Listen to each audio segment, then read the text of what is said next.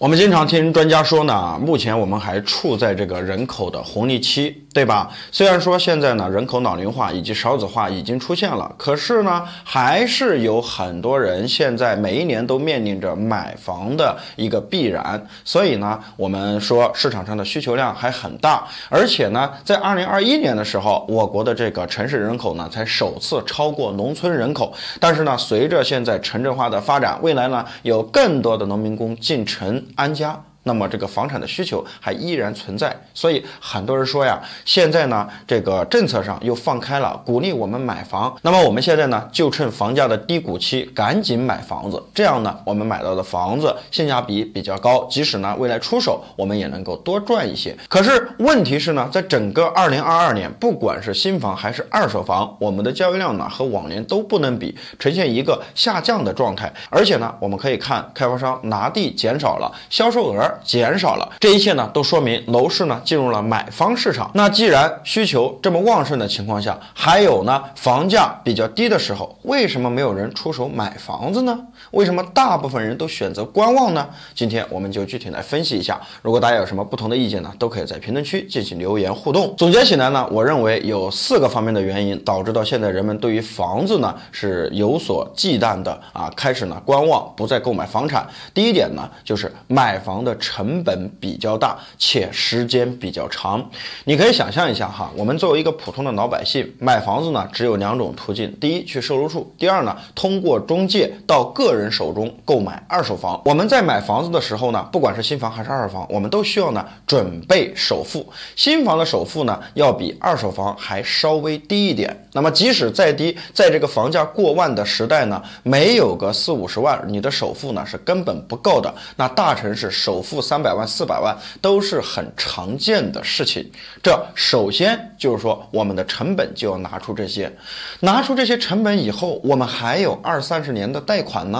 有的人选择的是二十年，有的人选择的是三十年。但不管怎么样，二十年和三十年的贷款，它产生的利息已经和本金一样多了。那么这也是成本。然后呢，我们买了房子以后还需要有装修吧？那这装修呢，又是一笔钱。一个八十平方的房子，你花个七八万块钱装修是很正常的喽。然后呢，你一百二十平的房子想要装得好一点，花个二十万去装修也很正常啊。因为本身装修呢就是一个无底洞，你想用好的材料，那么你的装修成本就直线上升。好了，那在这二十年的时间，你有没有？算过你整体的成本是多少？很多人算过，也就是说呢，二十年前你花了五十万买了一个房子，实际上二十年以后你把贷款还完，你的成本比一百万还要多。为什么呢？除了利息的五十万，我们还要考虑到这么多年通货膨胀啊，钱越来越不值钱，再加上呢你装修房子花的钱，总之你这个房子的成本呢，可能就是一百多万了。那么你再看看这个市场价，市场价呢，可能现在呢，房价下行，房子呢只能卖八十万，甚至是七十万。那么也就意味着你这么多年你买了房子，你是赔的。很多人呢会算这一笔账，对吧？买商铺的时候就在算回报率，回报率低了，我们就不动手。那么其实我们自己住的房子也是一样，看一看有没有增值的空间，有没有回报率啊？回报率低了，当然大家不愿意买。过去二十年，很多人愿意买房子，就是因为房子不断的涨，而且呢，不管你买哪个位置的，现在呢都已经成了核心地段，或者说位置也比较好啊，随便一卖呢，可能套现离场。但是现在的情况完全不一样了，大家的需求被满足，大家基本上都有房子。如果你的房子不是足够便宜的话，根本就没有人买。那么很多人想到这里，买房的成本过高，而且呢，把自己套牢了啊，三十年的时间你不能生病。对吧？你一直呢要保持有持续的收入才行。所以很多人觉得呢，这个时间太长了，把自己的青春全浪费掉了。那么怎么办呢？买了一套房子，现在贷款还的差不多了，再也不敢去买第二套房子了。这就和很多家庭生完一胎以后才感觉不想生二胎是一样的。第二个方面原因呢，就是我们的收入有限，申请贷款比较难，而且呢，有些人的征信已经坏掉了。我们还是以我们普通人买房子的角度来看，我们的收入是多少呢？在三四线城市，可能呢就三四千块钱一个月，对吧？由于呢现在有疫情的影响，很多这个工厂可能呢这个上半个月休半个月，甚至呢上两天休一天等等。总之，我们的收入呢现在变得很低，不太稳定。也有人呢做生意，却发现呢竞争力太大，那么撑了一年两年以后呢，自己还赔本了。在前几年呢，你可以感觉到，只要呢你有商铺，你往外出租，贴上号号码呢，不到几天就租出去了。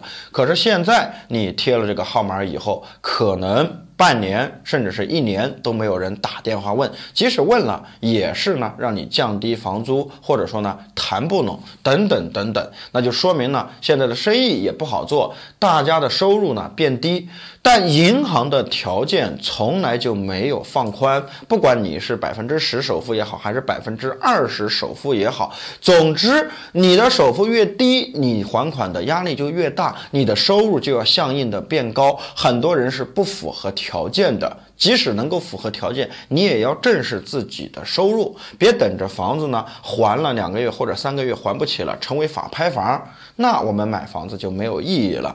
还有很多年轻人呢，在二十多岁的时候呢，根本就不注重自己的征信，拿着信用卡呢玩命的花，今天花了，明天再说，到最后呢拆东墙补西墙，最后呢自己的收入低，导致到信用卡逾期，逾期了以后就上征信报告，上了征信报告。以后银行就不会给你贷款。有些人呢有了二三十万的首付，结果呢也不能够买房子，要用亲戚的名义买房子呢，很多人还不放心，会引起呢房产的纠纷等等等等。总之，很多人呢在这上面栽了大跟头。第三点呢，就是我们的生活成本增加，导致到呢我们买房子越来越困难。对吧？你有没有一个感觉，就是在二十年前啊，你拿一百块钱，你觉得哇，好像花不完，这钱呢真扛花。可是呢，现在你拿一百块钱，对吧？不到一个小时就可以花完。我们的生活成本越来越高，通货膨胀越来越厉害。那么很多人呢，除了这个房贷占了大头以外，生活的成本也很高。我们的生活成本呢，有以下几个方面。这里呢说的是除了房贷以外的消费。第一呢，就是。车啊，车呢，有的有车贷，有的呢，每一年还有这个车的保险、车的保养啊、车的油钱等等。这一部分呢，我们其实呢要重视。其实呢，每一年一个车呢，加上这个保险啊，加上这个油费啊等等，一年可能呢就得三四万块钱啊。你买的车越好呢，你可能花费的呢就越多。还有呢，我们自己的生活费，在城市当中，一个月一个家庭两口子还有孩子，这个生活费能有多？少？两千多还是三千？这都是很正常的。还有呢，孩子的教育，孩子到了三岁以后要不要上幼儿园？上了幼儿园要不要上小学？上了小学以后要不要各种补习班或者培训班？等等等等。那这些呢，都是花钱的地方。还有。父母年迈了，在农村啊，保险比较少。那么我们每一次回去会不会补贴一点？再加上老人有病呢，我们是不是需要花钱？